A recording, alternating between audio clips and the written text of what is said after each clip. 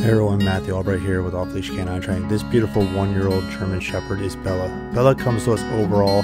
At first, we thought she was a submissive, back down one, but come to find out, she's the more confident one. And she ultimately is very, very more headstrong than her sister, which we'll get to in a moment. But overall, let's see how she does in the one week of training with us.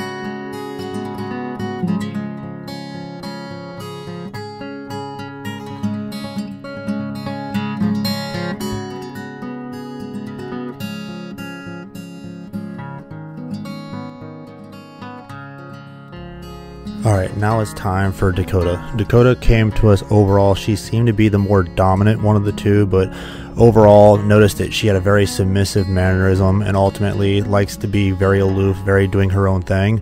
Uh, overall, she did absolutely amazing, though. The biggest thing that she had to overcome was confidence with her sure footedness. So let's see how she did after two weeks of training with us.